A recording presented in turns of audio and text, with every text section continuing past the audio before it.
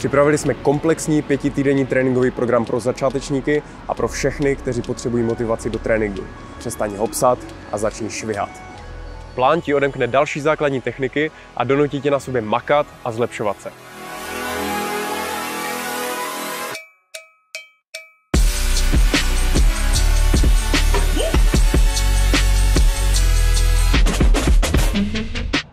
Pokud nemáš po ruce televizi, budou ti stačit sluchátka, protože jsme vytvořili audiostopu, která tě skrz na skrz provede tréninky. 15 sekund vysoká kolena.